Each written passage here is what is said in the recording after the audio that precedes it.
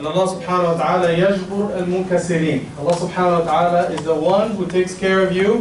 If you have been treated unjustly, He will console you, He will comfort you, and He will support you in this situation, in the light ta'ala.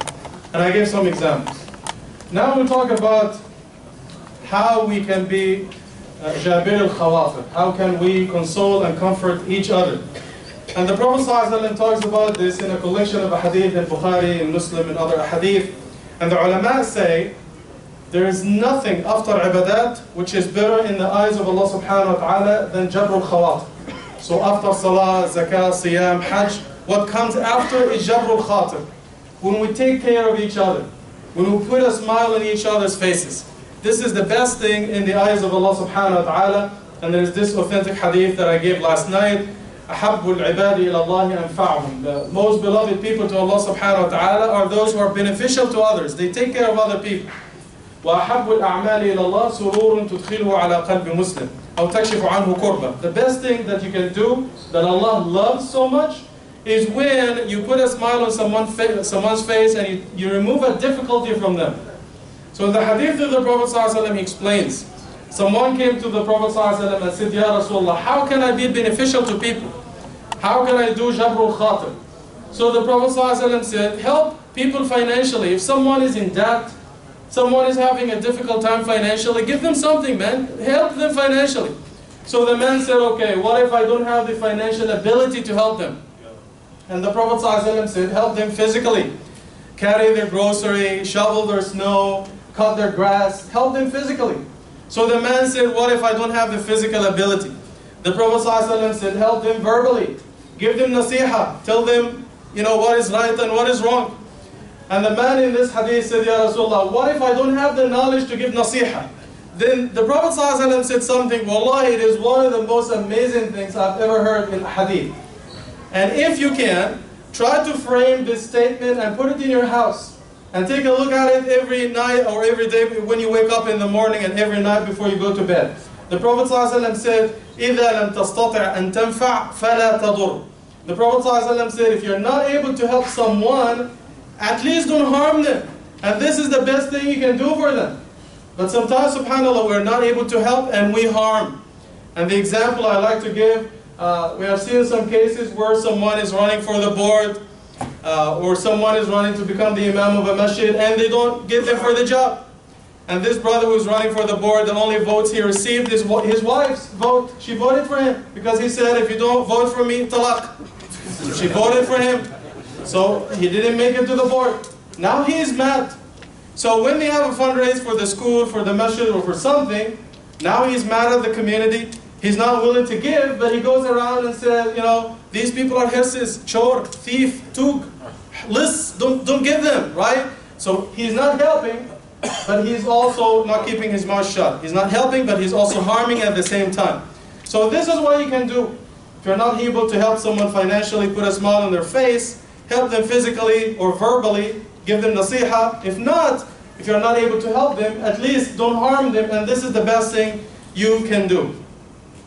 Now, Jabrul Khawatir, again, one of the most beautiful things you can do, and if you do Jabrul Khawatir to people, Allah subhanahu wa ta'ala will take care of you. When you help someone, at least with your tongue, you give them nasiha, you teach them something, you're not actually paying anything. This is the cheapest thing you can do, right? When you help them with your tongue. And sometimes, subhanAllah, when we talk, we're not putting a smile on someone's face, we're not putting joy in their hearts. Bullets are coming out of their mouth. Bullets. Like say for example, sometimes we talk, we're not paying attention, we just we just talk. Because you know, talking is for free. You don't pay 13% in tax when you talk. There's no GST, nothing. You just talk, right? So what is the point when you talk to someone who is at the hospital about how healthy you are? Or when you have money, Allah has blessed you with money and you are bragging about how wealthy you are to someone who is poor. Or someone who just lost their father or their mother and you say, well, I love my parents so much, they are the best. Like Trump, oh, they're fantastic, man. They're fantastic. You know, gonna build a wall. It's gonna be tall. You know, you know. So don't talk about your parents if someone just lost their parent, or if you talk about how wonderful your children are in front of someone who has been married for 10 years, no kids. What is the point? And the best example I like to give, Umar ibn Abdul Aziz radiallahu anhu, he was very sick, and this man came to visit him. And, and he said to Umar anhu, okay, what is the problem? What, what is your situation? So he said, well, I have this problem, you know, I'm not feeling well. So the man said, subhanAllah, I've never seen anyone who had this problem, except that they died. It's hopeless case, you're gonna die, bye-bye. So Umar anhu was so disappointed. He said, I thought you came to Jabr al-Khatir to put a smile on my face. Now, subhanAllah, you destroyed me morally, spiritually, everything. And he said, if you visit the sick, don't talk about death. And when you leave my house, don't you ever come back. Because, you know, my moral is in the basement, right? So the last uh, thing I want to say, inshallah, try Masalih Jabr al-Khatir. Try to put the smiles on people's faces. Uh, subhanallah, every single one of us goes through difficulties in life, either with their job, in their home, with their kids, at work, and so on and so forth. They don't need anyone to come and put more burden on their shoulders. We try to help each other and take care of one another. So there is this story. When you do Jabr al-Khatir to people, wallahi, Allah subhanahu wa ta'ala himself will do Jabr al-Khatir to you. Keep this in your mind. When you take care of people, Allah will take care of you. There's this story that happened in Egypt so many years ago. There was this doctor, he was in his 50s, and it was his day off. He was living in uh, Medina 6 October, uh, and his work was in Cairo. And the distance is like, uh, I would say, Niagara Falls and Ajax. It's about an, an hour and a half, an hour 45 minutes drive. So he used to go to Cairo for shopping and to visit some families and stuff. And on the way, while he was in Cairo and it was his day off, and he had to drive back one hour and a half to his house in another city, someone called him and he said, Your neighbor, this poor neighbor of yours, he's at the hospital, so please, there's no one visiting him. He's a poor guy, he doesn't have family. Please visit him. This will raise his morale. He will feel good about himself. You are his neighbor, you're a doctor, and when you go there, he will feel proud.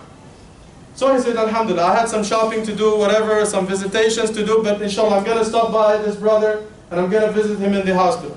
So he went and he visited him in the hospital, and after he left, he had a cardiac arrest. He didn't have any history of heart problems, but while he was in the hospital, he fell down. He had a problem in his heart for the first time, so they knew he was a doctor. They took him to the operation room and they revived him. And he told the story. He said, Wallah, if I didn't visit the brother to put a smile on his face, and I drove one hour and a half, one hour 45 minutes to this city, and those who know Cairo, Al-Mihwar, Al-Da'iri, one hour and a half at least, no houses, no nothing. If he had this cardiac arrest on the way, he will die for sure. So he said, when I put a smile on that guy's face, Allah saved my life.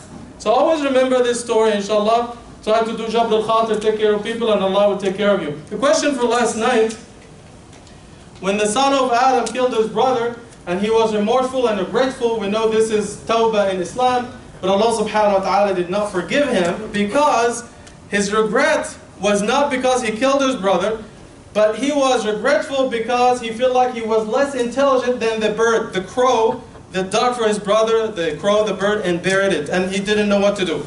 So he felt like, you know, the bird is smarter than me, and this is why he was regretful, and Allah subhanahu wa ta'ala did not forgive him for that.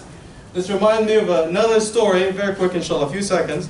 Uh, they robbed the bank, the chores, the hearses, they robbed the bank, and they took a truck full of money to a cave in the desert, and one of the thieves, after they took the money, he started to cry. So the, the head of the thieves, he said, okay, is this tawbah or something? Like you're crying tawbah? He said, no. I just bought a house in uh, Toronto. I was about to buy a one bedroom house for 750,000. You know how crazy it is. And it's going to take us at least a week to count the money. So I take my share. By the time I go to pay the money, the house will be one million and a half, right? It's very crazy. So the thing of the thief, يعني أعطاه بالكف والأخرس ولد. You don't have to wait one week to count the money. Don't cry. In 15 minutes on the CBC, they're going to tell us how much was stolen from the bank. And we'll give you your share. We don't have to count anything, right? So it is not tawbah, we're just crying for the money. So uh, the winner for tonight, the question was so difficult. Three brothers got together to give the answer. Adam, Muhammad, Khalid, Aish. Are they here? The time. quick. MashaAllah. MashaAllah. Takbir. Jazakallah khair. MashaAllah. Which one are you? Adam, MashaAllah. Alayhi salam. Barakallah feek. Jazakallah khair. ask questions, Until the end of the month, the questions will be so difficult, and if you don't give the answer, I'm going to take the prize. So a question for tonight, Surah Fussilat. We know that in the Quran, Allah subhanahu wa ta'ala says that He created the heavens and the earth always in six days. خلق السماوات والأرض في ستة أيام. There's one place in the Quran, Surah Fussilat, Surah 41, Surah 41, ayat 9 to 12. If you read it, it says eight days, not six. Two plus four plus two, it's eight. So how do you explain this? Is it six or eight? Is this a contradiction in the Quran? If you know the answer, email me before tomorrow Asr at Imam Mustafa at AnatoliaCenter.ca. Jazakallah khair.